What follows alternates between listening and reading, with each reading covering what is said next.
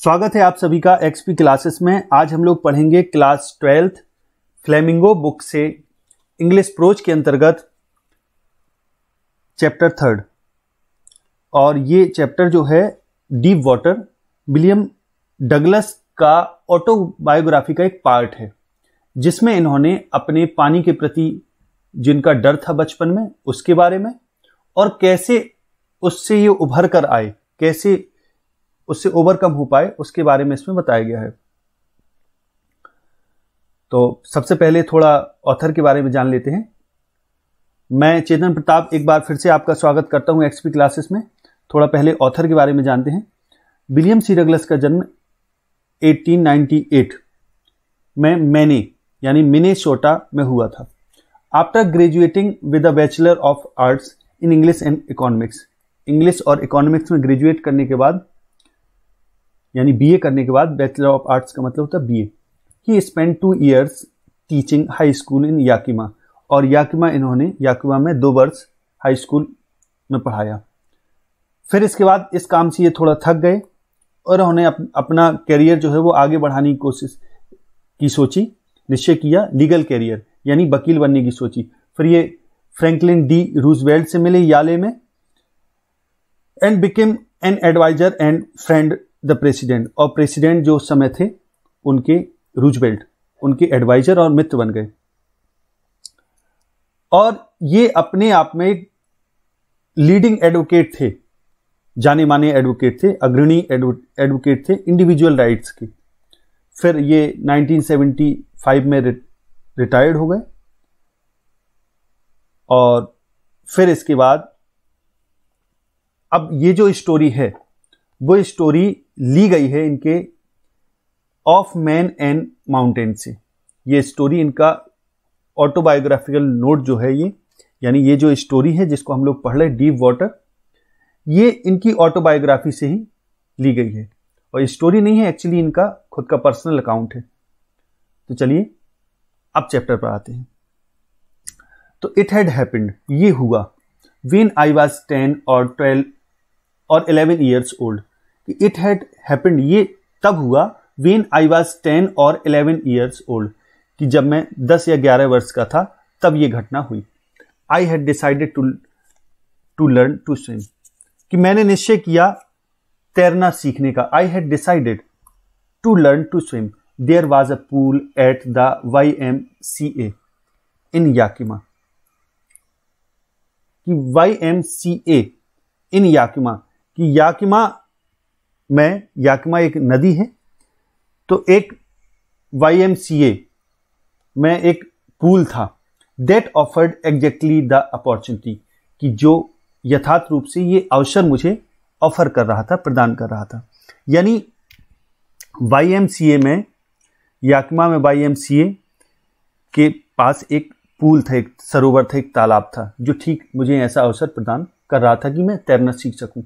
The Yakima river was treacherous अब जो याकमा नदी थी, वो ट्रेचरस थी। माने अविश्वसनीय नदी थी, यानी विश्वास नहीं कर सकती। गहरी भी थी और साथ ही साथ हो सकता है जानवरों का भी खतरा हो, मगरमच्छ वगैरह। तो ट्रेचरस नदी थी, यानी अविश्वसनीय धोखेबाज। Mother continually warned against it और माँ हमेशा लगातार वॉन्ड चेतावनी देती थी अगेंस्ट इट इसके इसके प्रति हमेशा मुझे चेताया करती थी। And kept fresh in my mind the details of each drowning in the river और केप्ट फ्रेश और ताज़ा रखती थी इन माई माइंड मेरे मन में the details of each drowning in the river कि प्रत्येक जो ड्रॉनिंग होती थी, कोई व्यक्ति जो डूबता था ड्रॉन होता था नदी में, उसके बारे में ये मुझे बताती रहती तो मेरे माइंड में वो चीज़ भरी रहती थी। माइंड फ्रेश बना रहता था उन डिटेल से। But the Y M C A pool was safe लेकिन जो पूल था वाई एम सी ए के पास, वो पूल शेप पूल था एक। यानी सुरक्षित था। इट वॉज़ ओनली टू और three feet deep at the shallow end कि जो सेलो एंड था, जो उथला छोर था, उस तरफ़ ये केवल दो या तीन फीट गहरा था। While it was nine feet deep at the other जबकि ये दूसरे तरफ़ नाइन फीट गहरा था द ड्रॉप वॉज़ ग्रेजुअल और जो ड्रॉप था, यानी लोगों का जो डूबना वगैरह था, वो ग्रेजुअल यानी वो फिर आगे एक minute while it was nine feet deep at the other जबकि दूसरे फीट पर नौ नौ नौ था। और द ड्रॉप वाज ग्रेजुअल यहाँ ड्रॉप का मतलब डूबने से नहीं, यहाँ ड्रॉप का मतलब गहराई से। अब फिर ऐसे ही और गहराई बढ़ती चली जा रही थी। I got a pair of water wings कि मैंने एक जोड़ा वाटर विंग्स का लिया, यानी जल परों का लिया and went to the pool और मैं उस सरोवर में गया। आई हेटेड टू वॉक मुझे हेट थी, घृणा थी। अब ये इसका मैप है वाई एम सी ए का, याकिमा रिवर का। इसको आप देख लें, स्टडी कर लें। अब याकिमा रिवर जो है is a tributary of the Columbia river in eastern Washington USA USA के ईस्टर्न वाशिंगटन में कोलंबिया नदी की एक ट्रिब्यूटरी नदी है ये, याकिमा रिवर, यानी सहायक नदी है। The state is named after the indigenous Yakama people. अब यहाँ के जो मूल निवासी हैं। उनके ही नाम पर याकमा जो लोग हैं उनके ही नाम पर इस नदी का नाम याकिमा रखा गया। तो तो आगे यहाँ ऑथर कह रहा है आई हेटेड टू वॉक मुझे वॉक करने से थोड़ा नफरत थी पसंद नहीं था। नेक्ड इन टू इट इसमें नंगे मुझे वॉक करना अच्छा नहीं था मुझे बिल्कुल अच्छा नहीं लग, लगता था। And so my skinny legs और अपनी स्किनी यानी दुबले पतले लेग्स दिखाना, पैर दिखाना मुझे अच्छा पसंद नहीं था। But I subdued my pride and did it लेकिन ऑथर कह रहा है कि मैंने सबड्यू मैंने सबड्यू माने होता है दबा देना या रोक देना या शांत करना। तो मैंने अपने इस अभिमान को शांत किया, दबाया और ऐसा किया, यानी मैं उसमें नेक्ड गया बिना कपड़ों का। फ्रॉम द बिगिनिंग शुरुआत से हाउ एवर यद्यपि I had an aversion to the water when I was in it aversion माने होता है घृणा।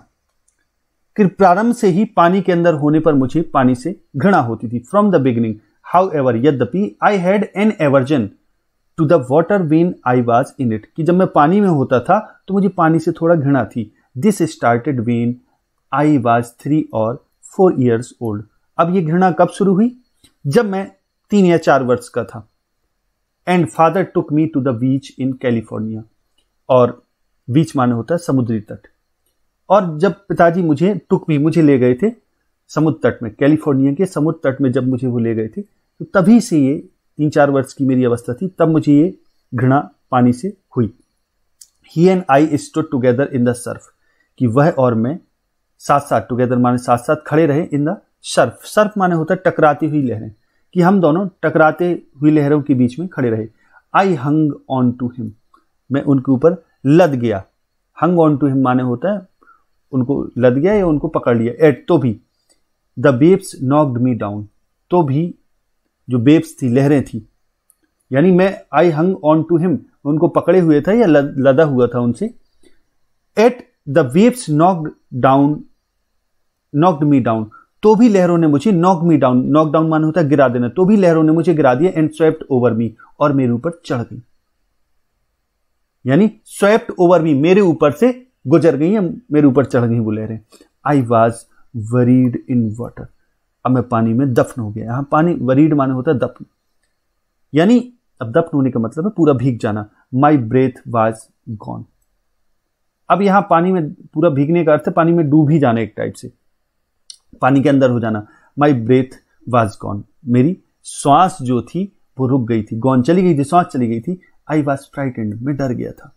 फादर लाफ्ट पिताजी हंसे। But there was terror in my heart at the overpowering force of the waves पिताजी, अब पिताजी इस पर हंस रहे थे, क्योंकि पिताजी के साथ था ऑथर तो पिताजी को विशेष डर नहीं था, क्योंकि वो साथ में थे।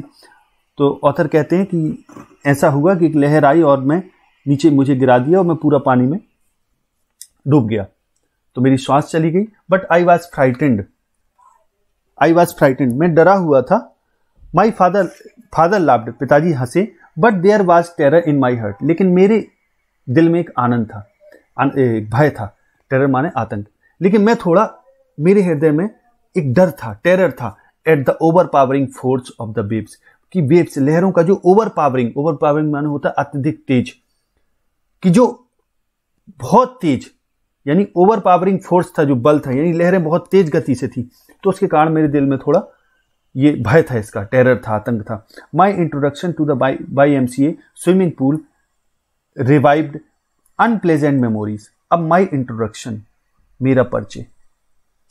To the Y M C A swimming pool कि Y M C A swimming pool से मेरा परिचय रिवाइव्ड जब मेरा इस स्विमिंग पूल से परिचित हुआ, परिचय हुआ तो रिवाइव्ड अनप्लेजेंट मेमोरी तो मुझे पुनः फिर से याद आ गई उन अनप्लेजेंट मेमोरी की, उन दुखद यादों की याद आ गई मुझे एंड स्टेड चाइल्डहुड फियर्स अब यहाँ ऑथर बात कर रहे हैं, अपने बचपन की बात नहीं कर रहे, अब ये बात की बात करें, जब ये चीज़ वो लिख रहे, कि जब मैं दो तीन साल का था, पिताजी के साथ गया था तो लहरों ने जब मुझे डुबोया तो मेरे अंदर एक भय बैठ गया, क्योंकि लहरों की जो गति थी, वो ओवर पावरिंग फोर्स से थी।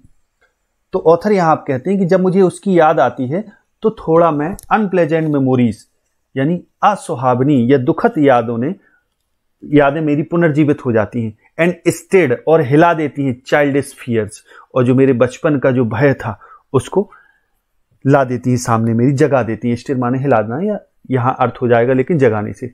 But in a little while लेकिन थोड़ी देर में आई गैदर्ड कॉन्फिडेंस लेकिन थोड़े ही में मेरा कॉन्फिडेंस आ गया। बट आई गैदर्ड कॉन्फिडेंस कि मैंने अपना कॉन्फिडेंस इकट्ठा कर लिया। माने मुझमें आत्मविश्वास आ गया। I paddled with my new water wings paddle माने होता है चलाना।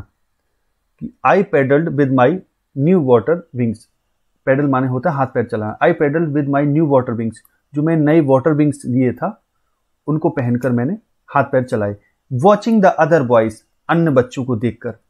And trying to learn by aping them और उनको ऐप करके, यानी एपिंग माने होता है नकल करना, उनको नकल करके मैंने कुछ सीखने की कोशिश की कि मैं भी तैरना सीखूं। यानी उन बच्चों को देखते हुए और उनकी नकल करते हुए तैरने की कोशिश की।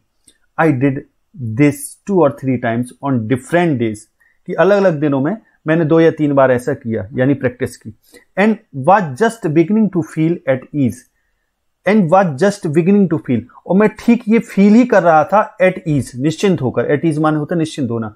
इन द वॉटर पानी में when the misadventure happened कि जब दुर्घटना हुई, कि मैं ये चीज़ फील ही कर रहा था, निश्चिंत होकर कि मैं थोड़ा तैरना सीख जाऊँगा, ऐसा तो तभी एक दुर्घटना हुई. I went to the pool I went to the pool when no one else was there अब बताते हैं ऑथर यहाँ कि दो ही तीन दिन हुए थे कि मैं फिर जब पूल में गया तो when no one else was there जब नो वन एल्स एल्स माने होता और, जब कोई और वहाँ नहीं था द प्लेस वाज क्वाइट वो जगह बिल्कुल शांत थी, यानी चारों तरफ़ शांति थी. द वॉटर वाज स्टिल पानी भी शांत था, क्योंकि कोई था ही नहीं पूल में भी कोई नहीं था, आसपास भी कोई नहीं था. And the tiled bottom was as white and clean as a bathtub जो टाइल्ड बॉटम था, यानी उस पूल का जो, उस पूल के बॉटम में टाइल लगी थी तो जो टाइल्ड बॉटम था, तली थी उसकी, वो वाइट थी और क्लीन थी, जैसे वाथ टब होता, वैसी थी। I was timid about going in alone अब मैं थोड़ा टिमिड था, डरा हुआ था। टिमिड माने होता है डरपोक। अबाउट गोइंग इन अलोन कि मुझे थोड़ा अंदर, अकेले अंदर जाने में थोड़ा मैं डर लग रहा था मुझे। तो so I sat on the side of the pool to wait for others so I sat इसलिए मैं बैठ गया on the side of the pool pool के साइड में, बगल में बैठ गया टू वेट फॉर अदर्स दूसरों का इंतज़ार करने लगा कि दूसरों का इंतज़ार करने के लिए मैं एक तरफ़ बैठ गया कि कोई अगर आए तो उसके साथ इसमें प्रवेश करूँ। I had not been there long when in came a big bruiser of a boy कि I had not been there long कि अभी मुझे वहाँ ज़्यादा देर भी नहीं हुई थी। वेन जब in came a big bruiser of a boy कि एक बिग ब्रूशर ब्रूशर माने होता है हट्टा खट्टा आदमी जैसा। एक हट्टा खट्टा आदमी जैसा एक लड़का आया प्रोबेबली 18 ईयर्स ओल्ड की संभवतः जिसकी उम्र 18 ईयर्स थी। लगभग 18 वर्ष का था जो। He had thick hair on his chest की जिसकी छाती में, उसकी छाती में थिक हेयर थे, माने घने बाल थे। चेस्ट माने छाती। He was a beautiful physical specimen specimen माने होता नमीना, नमूना।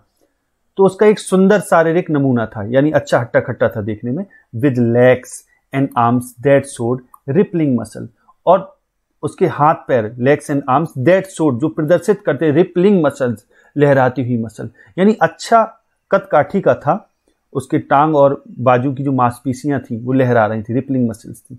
ही एल्ड अब वो चीखा, चिल्लाया। यानी जो वो लड़का आया है दूसरा, वो चिल्लाता है, चिल्ला के कहता है हाय स्किनी कि हाय पतलू। स्किनी का मतलब हो गया इधर, पतलू। कि hi Patlu how would you like to be ducked तुम कैसे डूबना पसंद करोगे? हाउ वुड यू लाइक तुम्हें डूबना कैसा लगेगा how would you like to be ducked यानी डूबना तुम्हें कैसा लगेगा? तो विद दैट इसके साथ ही, इतना उसने कहा विद दैट माने इसके साथ ही ही पिक्ड मी अप उसने मुझे उठा लिया ही पिक्ड मी अप उसने मुझे उठा लिया।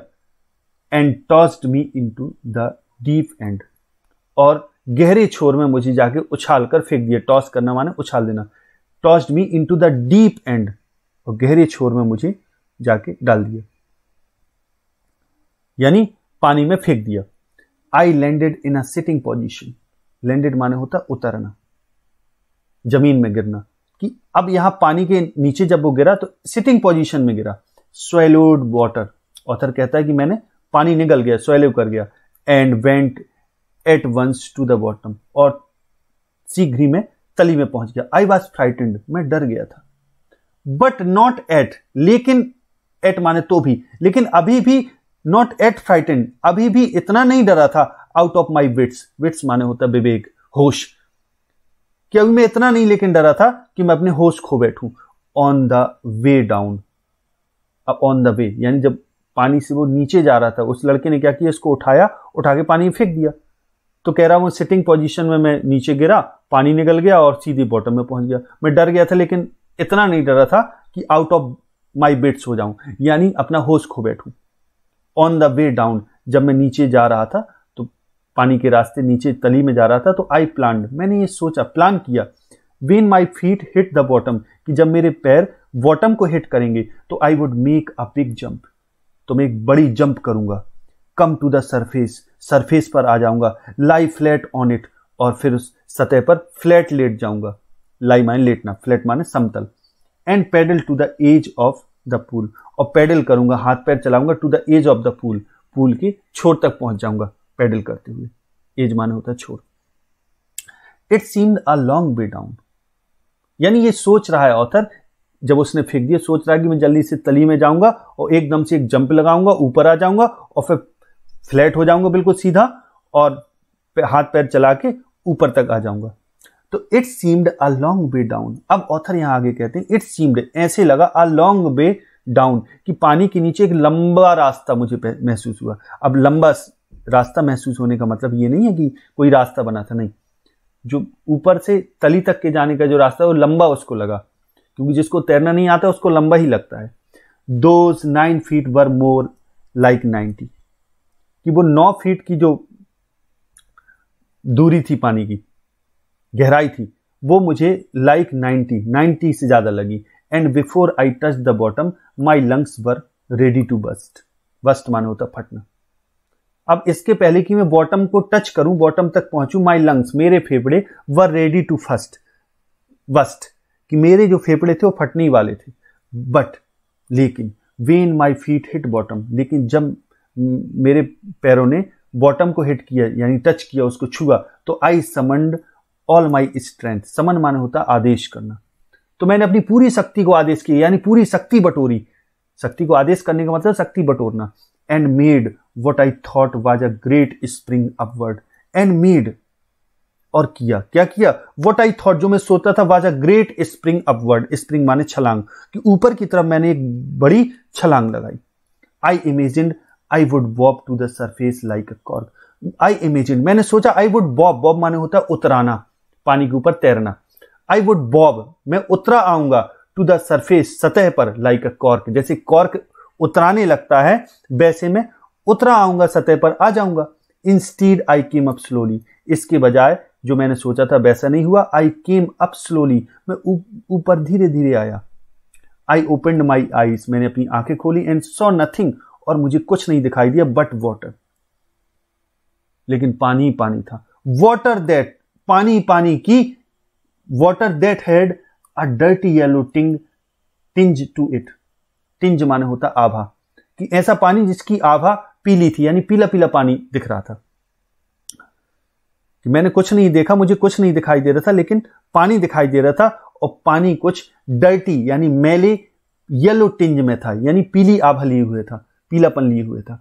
आई ग्रीव पैनिकी मैं ग्रीव पैनिकी माने होता, आतंकित हो जाना, डर जाना। मैं डर गया।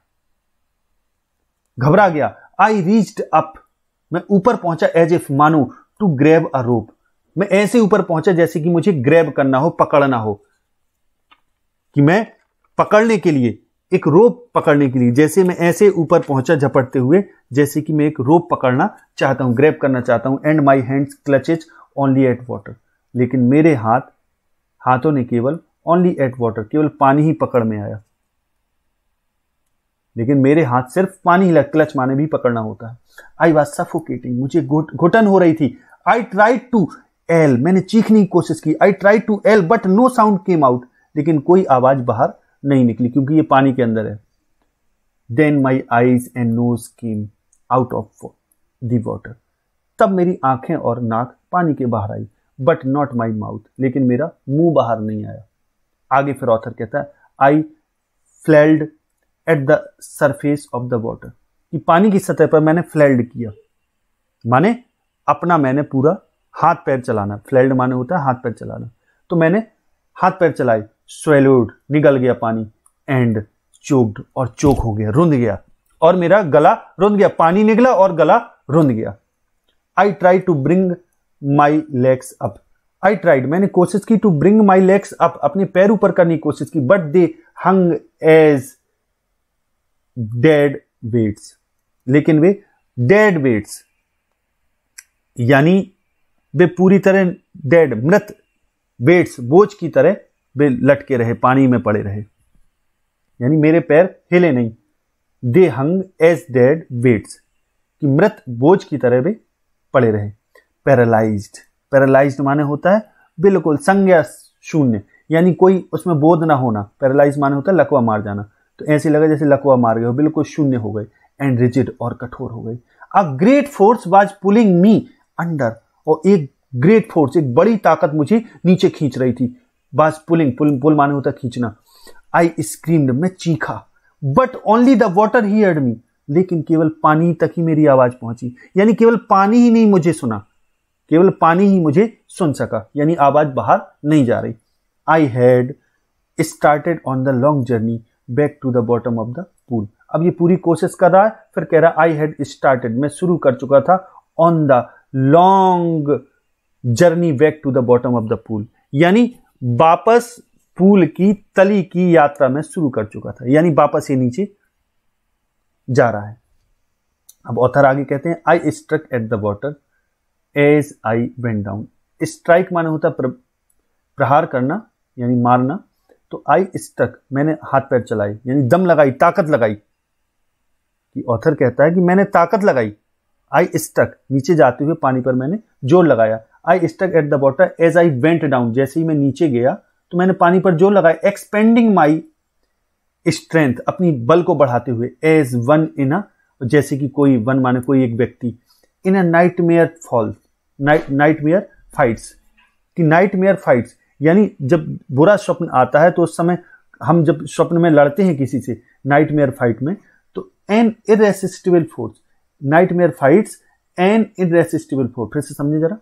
Expending my strength as one in a nightmare nightmare माने होता है बुरा स्वप्न बुरा स्वप्न।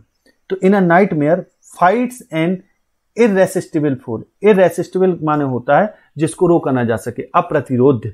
यानी वो शक्ति एक बुरे स्वप्न जब हमें कोई बुरा स्वप्न आता है तो उस बुरी शक्ति से हम लड़ने के लिए और और उस, उस इरेसिस्टिबल फोर्स से लड़ने के लिए जब हम पूरी ताकत दिखाते हैं तो वैसे ही मैंने अपनी शक्ति बढ़ाते हुए मैंने पानी पर ज़ोर अजमाया अपना। अब आगे देखें I had lost all my breath कि मेरी, पूरी मेरी श्वास चली गई थी। I had lost all my breath अब मेरी श्वास ही चली गई थी, यानी कहने का मतलब है श्वास फूल गई थी। माई लंग्स एक्ट कि मेरे लंग्स जो थे वे एक्ट हो गए थे, यानी कहने का मतलब फेफड़ों में दर्द हो रहा था। माई हेड थ्रॉप्ड और मेरा जो सिर था, वो थ्रॉप कर रहा था धक धक कर रहा था। आई वॉज़ गेटिंग डिजी मुझे डिजी आ रही थी, माने चक्कर फील कर रहा था। I was getting dizzy but I remembered the strategy लेकिन ऑथर कह रहा है तो भी मुझे एक स्ट्रेटजी पता थी। एक नीति पता थी, योजना मेरी थी। मुझे ये योजना याद आई कि आई वुड स्प्रिंग में स्प्रिंग कर जाऊँगा। अब ऑथर यहाँ बता रहा है कि कैसे वो डूब रहा है, कैसे वो बचने की कोशिश कर रहा है। तो कह रहा है जब ऐसा हो रहा कि मुझे चक्कर आ रहा है, मेरा सिर भारी हो रहा, यानी सिर धक धक कर रहा, मेरे फेफड़ों में दर्द होने लगा तो मुझे एक स्ट्रेटजी याद आई, एक योजना याद आई कि आई वुड स्प्रिंग कि मैं छलांग लगाऊँगा from the bottom to of the pool कि पूल के बॉटम से तली से मैं छलांग लगाऊँगा and and come like a cork to the surface और जैसे कॉर्क ऊपर तैरने लगता है पानी के सरफेस में सतह में, वैसे मैं भी ऊपर आ जाऊँगा come like a cork to the surface cork की तरह सरफेस पर आ जाऊँगा। I would lie flat on the water अब ये पानी के अंदर, जब इसकी ऐसी हालत है, तब ये योजना है ऑथर बना रहा। और कह रहा I would like flat I would lie flat on the water और पानी पर मैं सीधा लेट जाऊँगा फ्लैट लेट जाऊँगा, बिल्कुल। Strike out with my arms और अपने हाथों से स्ट्राइक आउट करने की कोशिश करूँगा। यानी strike out with my arms and thrash with my legs thrash माने होता पीटना। अपने हाथ पैर मारूँगा, यानी हाथ पैर से पानी काटने की कोशिश करूँगा। ऐसा ही सोचे and strike out with my arms and thrash with my legs अपने हाथ पैर से पानी को काटूँगा। हाथों से पानी को काटूँगा और थ्रेस विद माई लेग्स और पैरों से पानी में पैर मारूँगा, यानी टांगे चलाए, चलाएगा अपनी। Then I would get to the edge of the pool and be से और फिर कहता है, तब मैं I would get to the edge of the edge of the pool और तब मैं पूल के एज में आ जाऊँगा, छोर में आ जाऊँगा, किनारे एंड बी से और सुरक्षित सुरक्षित हो जाऊँगा। I went down down endlessly endlessly माने निरंतर, अनवरत, अनंत रूप से। कि अनंत रूप से मैं नीचे नीचे चला गया। अब ऑथर कह रहा है ऊपर आने की तो बात छोड़ो। अब मैं और नीचे चला गया, अनंत रूप से। यानी जब पानी किसी को तैरना ना आता हो तो थोड़ी सी भी गहराई पानी की बहुत ज़्यादा लगती है। तो वही ऑथर यहाँ कहने की कोशिश I went down down endlessly I open my eyes मैंने अपनी आँखें खोली nothing but water with a yellow glow जब मैंने आँखें खोली तो मुझे कुछ नहीं दिख रहा nothing but water with a yellow glow कि पीली आभल ये पानी ही दिख रहा था डार्क वॉटर गहरा पानी। That one could not see through इतना गहरा पानी था यानी अब पानी ऐसा लग रहा था कि वहाँ से कोई देख भी नहीं सकता था। यानी कहने का मतलब कुछ आगे दिखाई भी नहीं दे दे सकता था। बहुत ज़्यादा वो था। कुछ नज़र नहीं आता था। अंधेरा था डार्क वाटर था। डेट वन यानी पानी जब बहुत गहरा हो जाता है तो वहाँ से फिर कुछ दिखाई नहीं देता, वही चीज़ें। एंड देन शियर शियर माने मात्र, नितांत। स्टार्क टेरर सीज्ड मी और तब एक पक्का भय एक पक्के भाई ने मुझे घेर लिया सीड स्टार्क माने होता पक्का, दृढ़, मज़बूत। पूर्ण रूप से भाई ने मुझे घेर लिया terror that knows no understanding वो भाई, जो कोई समझ नहीं जानता, उस भाई ने मुझे घेर लिया, जो कुछ समझ नहीं जानता, यानी दैट नोज़ नो अंडरस्टैंडिंग जिसको कुछ समझ नहीं। फिर आगे ऑथर कहता है terror that knows no control भय, जो कोई कंट्रोल नहीं जानता। Terror that no one can understand भय, जो कोई नहीं समझ सकता who has not experience it कि उस भय ने मुझे घेर लिया कि जिसको कोई नहीं समझ सकता, यदि किसी ने वो चीज़ अनुभव नहीं की। यानी उस भय से मैं घिर गया। I was shrieking under water मैं पानी के अंदर श्रीक कर रहा था, चीख रहा था। I was paralyse under water मैं पानी के अंदर पूरी तरह पैरालाइज हो गया था, बिल्कुल संज्ञा शून्य हो गया था। स्टिप, बिल्कुल बिल्कुल स्टिप माने कठोर, रिजिड विथ फियर बर्थ और भय से बिल्कुल कठोर हो गया था मैं, रिजिड हो गया था। रिजिड माने होता है सख्त, स्टिप माने भी सख्त होता है, बिल्कुल वैसा में हो गया था, बिल्कुल सख्त हो गया था। बिल्कुल जब जैसे मुर्दा नहीं हो जाता, उसी तरह हो गया था। Paralysed even the screams in my throat were frozen यहाँ तक कि जो स्क्रीम्स थी, मेरी चीखें थी, मेरे गले में वो जम गई थी। यानी कहने मेरी जो चीखें निकलने वाली भी अगर हो तो वो मेरे गले में ही जम गई थी। यानी निकल नहीं पा रही थी बाहर आवाज़। Only my heart and the pounding in my head said that I was still alive केवल मेरा मेरा हृदय और मेरा pound and the pounding in my head और मेरे जो सिर की पाउंडिंग थी, जो मेरा सिर जो धक धक कर रहा था पाउंड हो रहा था, थोड़ा बहुत वो कर रहा था, उसकी वजह से ही मुझे ये पता चला कि मैं, यानी जो पाउंडिंग मान होता धमक, जो मेरे सिर में हल्की फुल्की पानी की जो धमक हो रही थी और मेरा हर्ट वो ये कह रहे थे said that I was still alive कि मैं अभी भी जीवित हूँ। यानी मेरे सिर की धड़कन सिर में जो धक धक हो रही थी धमक, उसके कारण और मेरे हृदय के कारण मुझे ये पता चल रहा था कि हाँ अभी भी मैं जीवित हूँ। I was still alive still माना अभी भी। And then in the midst of the terror came a touch of reason touch of reason माने विचार आना। कुछ समझ में आ जाना। And then in the midst midst माने बीच ऑफ़ द टेरर कि इसी भय के बीच came a touch of reason कि मुझे कुछ समझ आई। एक समझ आई। I just remember to jump मुझे याद आया जंप करना when I hit the bottom कि जब मैंने बॉटम में को हिट किया, मैं, यानी मेरे पैर जब बॉटम में पहुँचे तो मुझे याद आया कि जंप करना है। तो एट लास्ट अंत में I fell the tiles under me कि मुझे अपने नीचे टाइल्स का अनुभव हुआ। My toes reach out as if to grab them और मेरे टोज टोज माने होता है, पैर के जो अंगूठे होते हैं वो।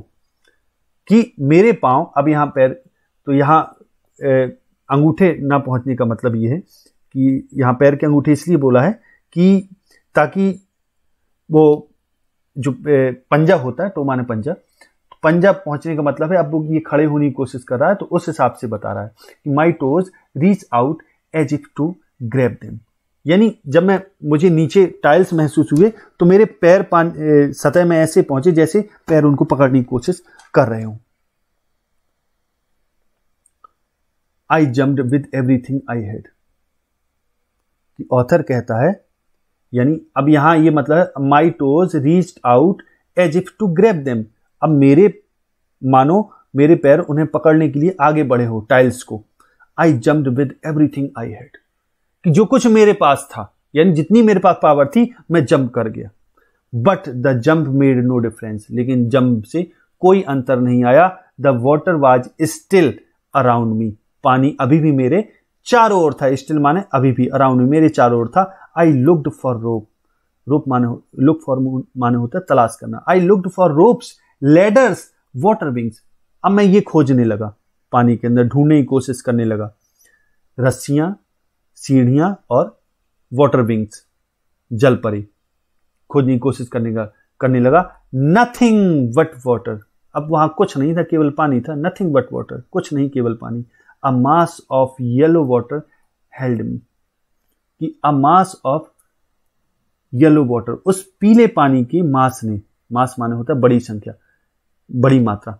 तो पीले पानी की बड़ी मात्रा ने मुझे हेल्ड कर रखा था, रोक रखा था या घेर रखा था।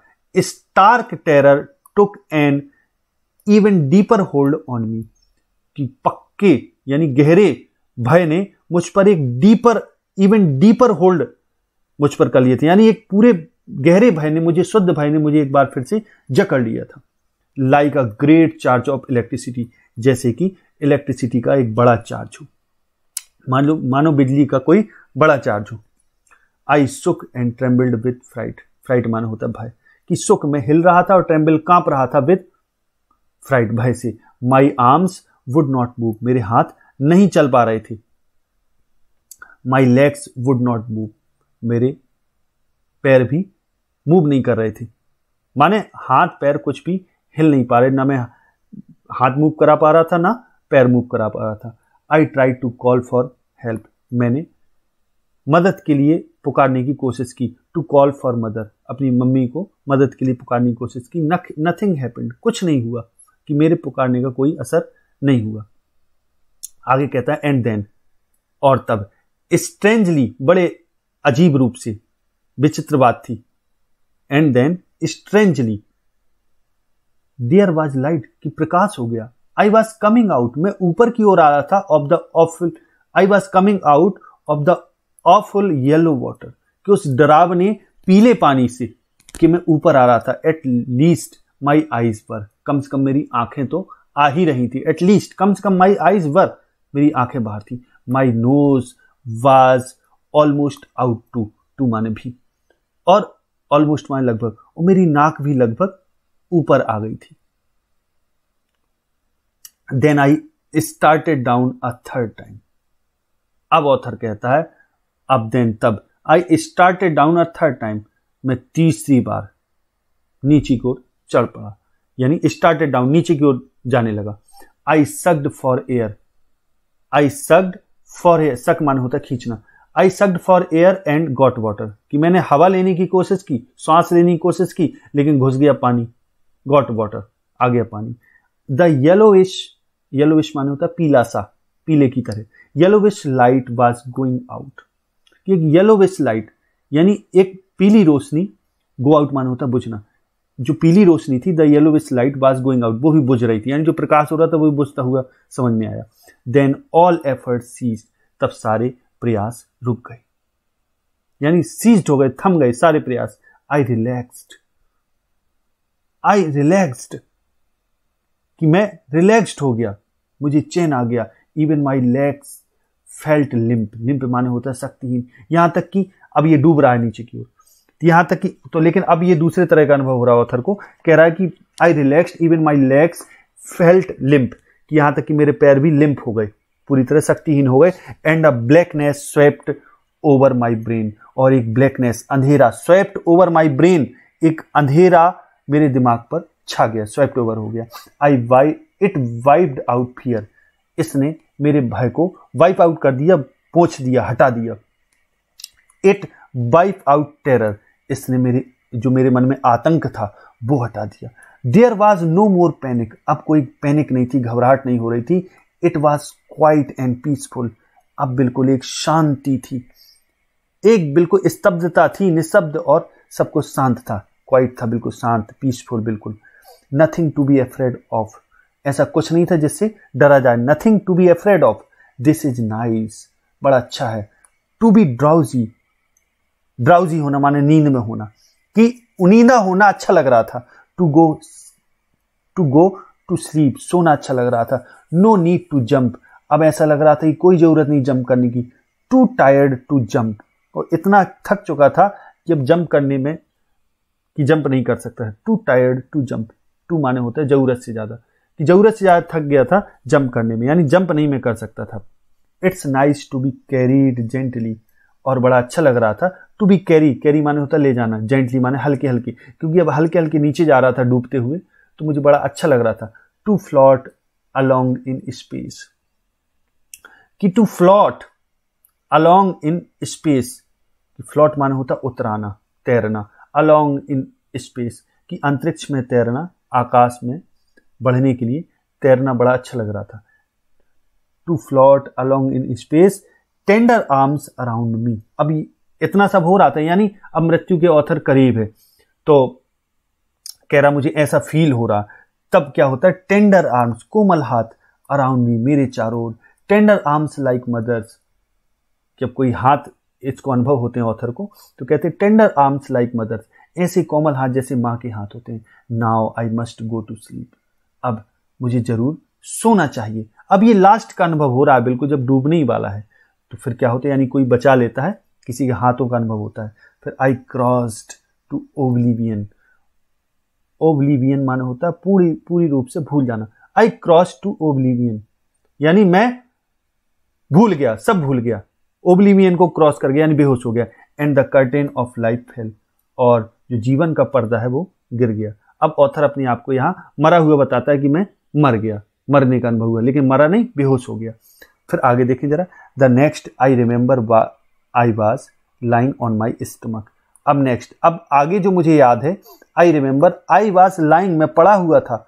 अब आगे जो मुझे याद है, मैं पड़ा हुआ था ऑन माई स्टमक अपने पेट के ऊपर बिसाइड द पूल वॉमिटिंग कि उसी सरोवर के पास, उसी पूल के पास, बगल में, कि जब मुझे होश आया तो मैं अपने आप को वहाँ पड़ा पाया, अपने पेट केवल वॉमिटिंग उल्टी करते हुए।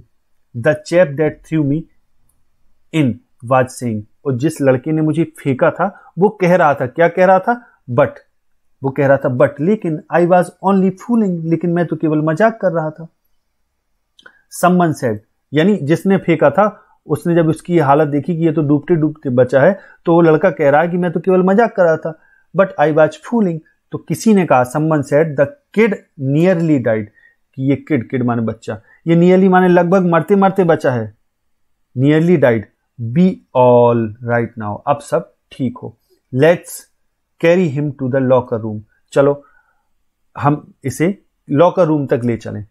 अब लोग, सब लोग उसके, उसको लॉकर रूम के पास ले गए। आगे देखें। सेवन आवर्स लेटर कि कई घंटों बाद आई वॉकड होम मैं घर चलकर गया। आई वॉज़ वीक मैं कमज़ोर था इन ट्रेमलिंग यानी मैं बहुत, मुझे कमज़ोरी फील हो रही थी और काँप रहा था ट्रेमलिंग कर रहा था। आई सुक एंड क्राइड कि मैं सुख किया मैं। सुख माने होता है कांपना, हिलना। कि मैं सुख कर रहा था, हिल रहा था। और एंड क्राइड एंड क्राइड और रोया। मैं हिला और रोया। यानी हिल भी रहा था और रो भी रहा था। वेन आई ले ऑन माई बेड, जब मैं अपने बिस्तर में लेटा। I could not eat that night कि मैं उस रात मैंने भोजन नहीं किया। I could not eat that night for days. A haunting fear was in my heart. For days, कई दिनों तक। अ हॉन्टिंग फियर एक डराने वाला भय वाज इन माई हर्ट मेरे दिल में बराबर रहा। यानी मुझे बराबर मेरे हृदय में डर बना रहा कुछ दिनों तक। द स्लाइटेस्ट एक्सर्सन एक्सर्सन मान प्रयास। कि थोड़ा सा भी प्रयास अपसेट मी यानी थोड़े से ही प्रयास से मैं अपसेट हो जाता था दुखी हो जाता बेहाल हो जाता था। यानी थोड़ा ही मैं एक्सर्सन करता था ज़ोर लगाता था तो बेहाल हो जाता था। Making my making me Bobbili Bobbili माने होता ए, हिलना डुलना। यानी फड़ एक टाइप से वो बड़ा कमज़ोरी के कारण क्या होता है पैर जब डगमगाने लगते हैं तो वो कहलाता है लड़खड़ाना। तो making me wobbly in the knees तो अगर मैं थोड़ा ही से ज़ोर लगाता था तो अपसेट हो जाता था यानी थोड़ा ही सा ज़ोर मुझे अपसेट कर देता दुखी कर देता था। क्योंकि कमज़ोर हो गया था होता। और making me wobbly in the knees और घुटने मेरे लड़खान लगते थे and sick to my stomach और मेरे पे, मेरे पेट में दर्द होने लगता है सिक यहाँ बीमारी से अर्थ है, यानी पेट भी कमज़ोर हो गया है तो पेट में दर्द होने लगता था। I never went back to the pool author कहते हैं, इस घटना के बाद मैं कभी वापस पूल में नहीं गया। आई फियर्ड वाटर मुझे पानी से डर लगता था। I feared water I avoided it मैंने वहाँ पानी को अवॉइड कर दिया, छोड़ दिया। Whenever I could whenever I could कि जब भी मैं मुझे मतलब कहने ऑथर ये कहना है मैं उससे बचने का प्रयत्न कर, करता है जहाँ भी जब भी मुझे पानी मिलता था मैं बचने की कोशिश करता था। फिर आगे ऑथर कहते हैं अ फ्यू ईयर्स लेटर कि कुछ साल बाद when I came to know the waters of Cascades अब कैस्केट माने होता है जलप्रपात कि ऑथर कहता है कुछ समय बाद कि कुछ समय बाद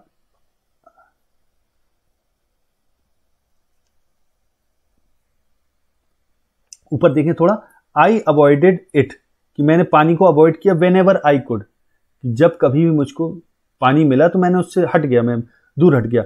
A few days a few years later कुछ वर्षों बाद when I came to know जब मुझे जानने में आया द वॉटर्स ऑफ़ कैस्केड्स कि जल प्रपात के पानी के बारे में जब मुझे जानने में आया, यानी झरने वगैरह होते उसकी बात कर रहा होता। जानने में आया तो I wanted to get in to them तो मैं वहाँ जाना चाहता था उस पानी में, यानी झरनों के पास जाना चाहता था। And when ever I did और जब कभी मैं गया तो whether I was wading the Tieton और बंपिंग रिवर और bathing in Warm Lake of the Goat Rocks कि अब चाहे मैं वेडिंग कर रहा हूँ वेडिंग माने होता है पैदल चलना। कि चाहे मैं पैदल क्रॉस कर रहा हूँ, उसको पैदल चलकर पार कर रहा हूँ किसको? टाइटन को या बंपिंग रिवर को या स्नान कर रहा हूँ in Warm Lake of the Goat Rocks Goat Rocks की जो गर्म झील है उसमें चाहे मैं स्नान कर रहा हूँ या कुछ भी मैं कर रहा हूँ मैं ए, मैं उसको पैदल पार करता था। ऑथर यहाँ कह रहा है कि जब भी मैंने ऐसा किया चाहे वह टीटन या बंपिंग नदी को चलकर पार करना हो या गॉट रॉक्स की गर्म झील में नहाना हो। जब भी ऐसा हुआ तो the terror that had seized me in the pool would come back कि वो आतंक, जिस आतंक ने मेरे ऊपर घेरा डाला था सीज करके रखा था मुझे इन द पूल उस सरोवर में वाई एम सी ए सरोवर में, यानी उस पूल में तो वुड कम बैक जब भी मैं पानी में कहीं भी घुसता था तो वो वापस वो भय फिर से आ जाता था मेरे पास. यानी फिर से मैं डर जाता था. It would take position of me completely इसने वो टेक पोजिशन माने अधिकार कर लेना ऑफ़ मी कंप्लीटली इस आतंक ने, इस भय ने मेरे ऊपर पूरी तरह अधिकार कर लिया था। My legs would become paralyse और मेरे पैर जो थे, वो पैरालाइज हो जाते थे। यानी संज्ञा शून्य हो जाते थे।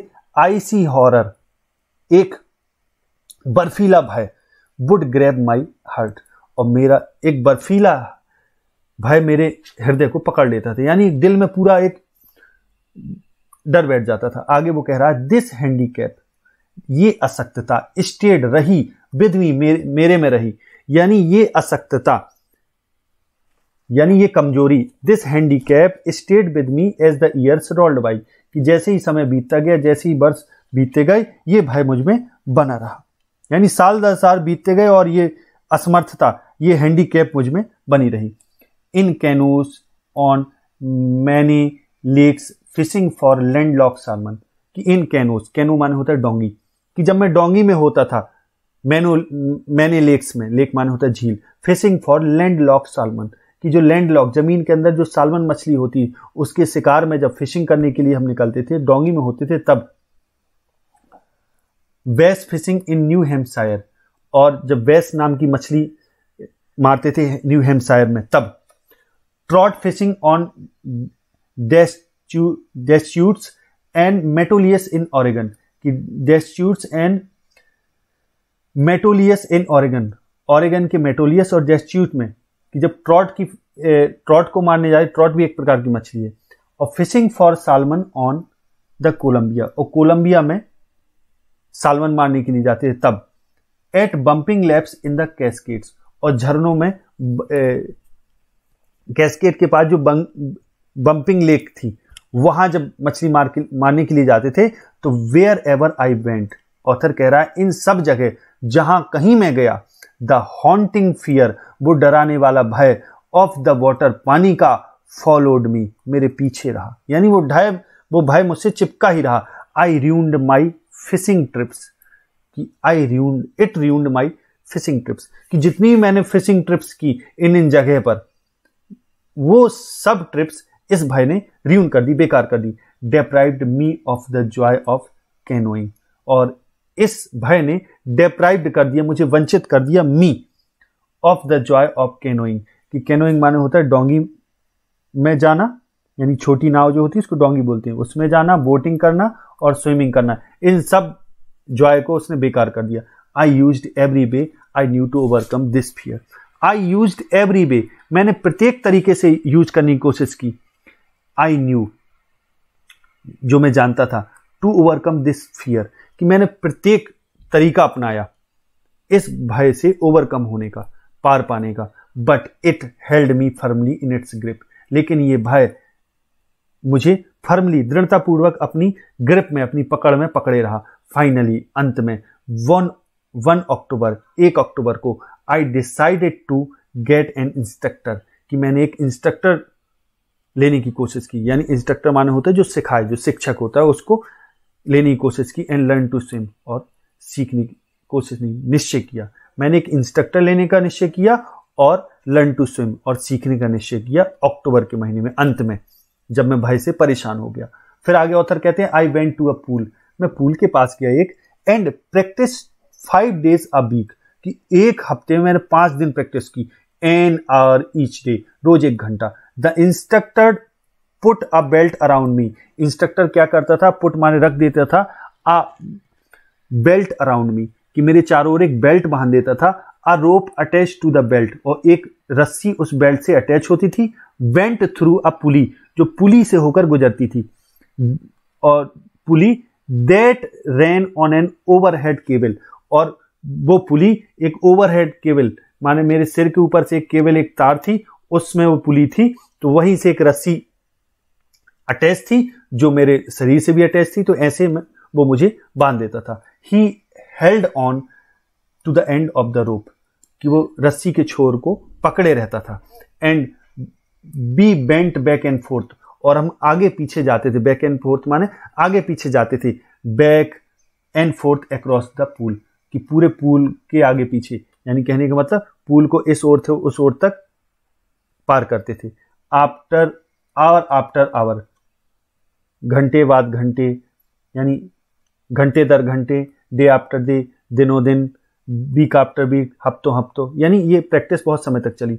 On each trip across the pool a bit of the panic seized me a bit माने थोड़ा पैनिक माने आतंक या भय, घबराहट। कि जितने बार हम इस तरफ़ से उस तरफ़ जाते थे पूल को पार कर, करते समय अब ऑथर यहाँ सीख रहा है। वो जो इंस्ट्रक्टर है वो उसको सिखा रहा है वो उसके चारों रस्सी बाँध देता था उसके शरीर से फिर रस्सी को पुली से अटैच कर देता था और जो पुली एक केबल से अटैच रहती थी इस ओर से उस ओर जाते थे। ये घंटों हफ्तों हुआ ये। यानी रोज घंटों होता था दिनों दिन हफ्तों हुआ फिर ये। और कह रहे जितने बार हम जाते थे तो अब bit of the panic seized me तो इस घबराहट का जो छोटा सा अंश था, वो मुझे घेरे रहता था हमेशा। Each time the instructor relaxed his hold on the rope अब प्रत्येक बार जब हम इस ओर से उस ओर जाते थे तो जो इंस्ट्रक्टर होता है, वो रिलैक्स कर देता थोड़ा ढील दे देता था, छोड़ देता था अपनी पकड़ को। रस्सी पर जो पकड़ बनाए रहता उसको ढीला कर देता था। एंड आई वेंट अंडर और मैं पानी के नीचे चला जाता था। Some of the old terror return and my legs froze और जब ऐसा होता था तो कुछ जो पुराना भय था वो वापस आ जाता था और माई लेग्स फ्रोज और मेरे पैर फिर से जम जाते थे। I was it was three months before the tension begin to slack अब इट वॉज़ थ्री मंथ्स अब ये लगभग तीन महीने हो गए थे। ये लगभग तीन महीने हो गए थे जब जो टेंशन थी, जो तनाव था, भय का, वो थोड़ा स्लैक हुआ, कम हुआ। Then he taught me to put my face under water तब उस इंस्ट्रक्टर ने मुझे टॉट किया, सिखाया to put my face under water, कि पानी के नीचे कैसे चेहरा सिर करना है, एंड एक्सेल और श्वास बाहर फेंकनी है, and to raise my nose, और नाक को फिर बाहर उठाना है, एंड इनहेल, और फिर श्वास लेनी है, फिर अंदर जाना है। माने ये सब उसने फिर मुझे सिखाया। I repeated the exercise hundreds of time कि ऑथर कह रहा है, मैंने इस एक्सरसाइज को हंड्रेड्स ऑफ़ टाइम्स सैकड़ों बार रिपीट किया, दोहराया। बिट बाई बिट धीरे धीरे करके थोड़ा थोड़ा I shed part of the panic कि I shed part of the panic कि मैंने इस भय का कुछ पार्ट क्या किया? सेड सेड किया, माने कुछ कम किया। घटाया। यानी थोड़ा बहुत ये आतंक, ये डर मेरे से हटा। ये घबराहट खत्म हुई। आगे देखें। That seized me when my head went under water और लेकिन ये घबराहट दैट सीज्ड मी जो मुझे घेरे रहती थी when my head went under water कि जब मेरा सिर पानी के नीचे जाता था तो ये घबराहट बराबर मुझे फिर भी घेरे रहती थी। Next he held me at the side of the pool कि नेक्स्ट फिर आगे क्या हुआ? He held me at the side of the pool had me kick with my legs कि he held me at the side of the pool कि जो pool के side में ले गया फिर वो एंड फिर आगे वो कहता है कि and had me kick with my legs. और मुझे मेरे पैर पैर चलाना, उसने माने सिखाया। क्यों कह रहा है कि इसके बाद ताल के किनारे पर मुझे पकड़े रहा हेल्ड करे रहा। एंड और मैं had me kick with my legs और मैं अपनी पैर मारता रहा। फॉर वीक्स हफ्तों आई डिड जस्ट दैट मैंने हफ्तों यही किया। ऐसी ही प्रैक्टिस की। At first my legs refuse to work पहले तो मेरे कामों ने मेरे पैरों ने काम ही करना मना कर दिया। यानी कहने का मतलब पैर ही नहीं चल रहे थे। At first my legs refuse to work but they gradually relaxed लेकिन धीरे धीरे उन्होंने पैरों ने रिलैक्स किया। थोड़ा बहुत उनमें तनावहीन होने लगे भी। And finally I could command them और अंत में ऐसा समय आया कि मैं उनको कमांड कर सकता था, यानी हाथ पैर अच्छे चला सकता था। दस इस प्रकार पीस बाय पीस, इस प्रकार पीस बाय पीस, टुकड़े टुकड़े करके ही बिल्ट अ स्विमर उस सिखाने वाले ने एक स्विमर बनाया, एक तैराक बनाया, यानी ऑथर अपनी बात कर रहा है कि धीरे धीरे उस व्यक्ति ने मुझे सिखाया। He built a swimmer and when he had perfected each piece और जब उसने हर एक पीस को परफेक्ट कर दिया सिखाने, अब यहाँ ऑथर ये कह रहा है कि उसने स्टेप बाय स्टेप सिखाया। और एक एक स्टेप को, एक एक पीस को जब उसने पूरा परफेक्ट कर दिया तो he put them together into an integrated whole integrated whole माने एक पूर्ण मात्रा में। फिर उसने सब टुकड़ों को इकट्ठा टुगेदर कर दिया। यानी सबको मिला दिया। यानी पूरी तरह सिखा दिया। इन अप्रैल ही सेड और जब अप्रैल का महीना आया तो उसने कहा नाउ यू कैन स्विम अब तुम तैर सकते हो। डाइव ऑफ़ डाइव करो and swim the length of the pool crawl stroke और क्रॉल स्ट्रोक में रेंगते हुए, कि अब जाओ और रेंगते हुए जाके इस पार से उस पार जाओ। गोता लगाओ और ताल की पूरी लंबाई तैरकर पार करो। धीरे धीरे जाओ क्रॉल स्ट्रोक क्रॉल करके धीरे धीरे रेंग रेंग के जाओ। आगे देखें आई डिड आई डिड मैंने ऐसा किया। द इंस्ट्रक्टर बात फिनिश्ड अब इंस्ट्रक्टर का तो काम पूरा हो गया था but I was not finished लेकिन मेरा काम अभी पूरा नहीं हुआ था। आई स्टिल्ड वंडर्ड मैं अभी भी सोचता था वंडर विचार करता था if I would be terror stricken अगर फिर ने, फिर मुझे भय ने घेर लिया तो when I was alone in the pool कि अगर, अब मैं ये सोचता था कि अगर मैं अकेला हुआ पूल में, और फिर मैं आतंकित हो गया उसी भय से तो फिर क्या होगा? तो फिर क्या होगा? सौरोस्टिकन माने होता है भयाक्रांत होना। तो आई ट्राइड इट मैंने फिर ऐसी कोशिश की, यानी मैंने कोशिश की कि अब मैं अकेला तैरूं। I swam the length up and down कि जो लेंथ थी पूल की, उसकी अप एंड डाउन उस तरफ़ जाना, इस तरफ़ आना। ऐसे मैंने तैरा अप एंड डाउन पूरी लेंथ को तैरा। Tiny vestige vestiges of the old terror would return अब टाइनी माने छोटे छोटे वेस्टेजेस माने अवशेष। छोटे अवशेषों में, जो पुराने भय का छोट पुराना भय छोटे छोटे अवशेषों में लौट आता था। बट नाउ लेकिन अब आई कुड फ्रॉन अब मैं क्रोध कर सकता था फ्रॉन कर सकता था and say to that terror और उस भय से कह सकता था। लिखत कह, कहता है कि अभी पुराने आतंकी अवशेष लौटा करते थे पर अब मैं क्रोधित होकर उस भय से कह सकता था ट्राइंग टू स्केयर मी मुझे डराने की कोशिश करो या अच्छा? या माने अच्छा तुम मुझे डराने की कोशिश करो? वेल ठीक है हियर्स टू यू ये लो लुक देखो and off I would go for and the length of the pool और ऐसा कहकर मैं I would go for and the length of the pool मैं एक बार फिर जाता था। उस पूरे पूल को कवर करता था। यानी कहने का मतलब फिर उसको पार कर देता था। तो अब यानी सुधार हुआ ऑथर के भय में। अब आगे देखें जरा। This went on until July अब अप्रैल से लेकर ये जुलाई तक चलता रहा। But I was still not satisfied लेकिन ऑथर कह रहा, मैं अभी भी संतुष्ट नहीं था। आई वॉज़ नॉट श्योर मैं श्योर नहीं था, निश्चित नहीं था दैट की all the terror had left कि सारा भय चला गया।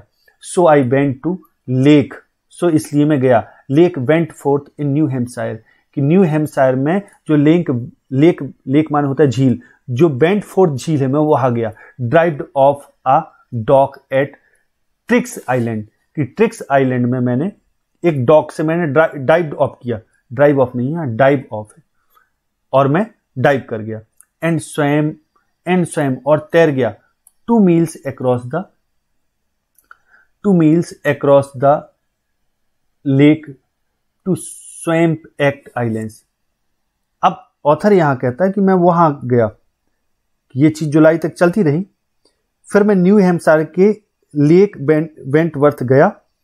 जो लेक वेंट वर्थ है, मैं वहाँ गया। और ट्रक्स आइलैंड में डॉक से कूदा और दो मील झील में तैरकर स्टेम एक्ट आइलैंड पहुँचा। कहाँ पहुँचा?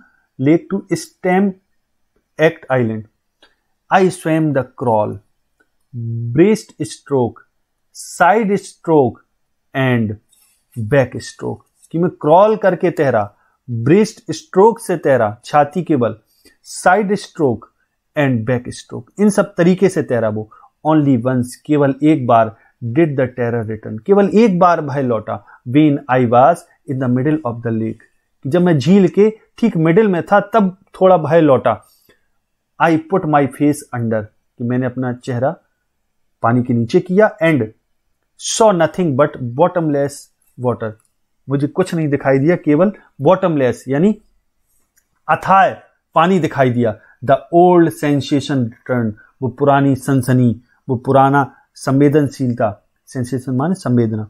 वो पुरानी संवेदना in miniature return in miniature miniature माने लघु, छोटी। छोटे रूप में फिर से वो अनुभव लौटा सेंसेशन लौटा। आई लव्ड एंड सेड मैं हंसा और मैंने कहा वेल मिस्टर टेरर अच्छा mister terror what do you think you can do to me तुम क्या सोचते हो? तुम मेरे लिए क्या कर सकते हो? ऑथर कह रहा है कि तुम क्या सोचते हो? मेरे लिए तुम क्या कर सकते हो? मेरा तुम क्या what do you think you can do to me तुम क्या सोचते हो? क्या कर सकते हो मेरे लिए? कि आतंक साहब, आपके ख्याल में आप मेरा क्या बिगाड़ सकते हैं? ये अर्थ हुआ इसका। आई फ्लैड मैं भाग गया। एंड स्वयं ऑन और तैरकर आगे चला गया। स्वयं ऑन एट तो भी I had residual doubts residual माने होता है बचे खुचे। अब तो भी कुछ बचा खुचा अवशेष रूप में कुछ संदेह था, मुझे डाउट्स थे कुछ। एट माई फ़र्स्ट अपॉर्चुनिटी कि जब मेरा पहला अवसर आया तो आई हरीड वेस्ट मैं पश्चिम गया। Went up to up to the Tieton to Conrad Meadows कि went up to the Tieton Tieton गया, वहाँ से कॉनरेड मीडोज गया, और up the Conrad Creek trail और कॉनरेड कॉनरेड क्रीक ट्रेल से मैं गया Meade glacier and camped in high meadow by the side of the warm lake उस गर्म झील के साइड माने बगल में मैंने हाई मीडो ऊँचे चारागाह में मैंने कैंप लगाया अपना। द नेक्स्ट मॉर्निंग अगली सुबह आई स्ट्रिप्ड मैंने कपड़े उतारे डाइव्ड इनटू द लेक झील में छलांग लगा गया एंड स्वयं अक्रॉस टू द अदर शोर शोर माने किनारे, और पार करके दूसरे छोर में चला गया एंड बैक और वापस।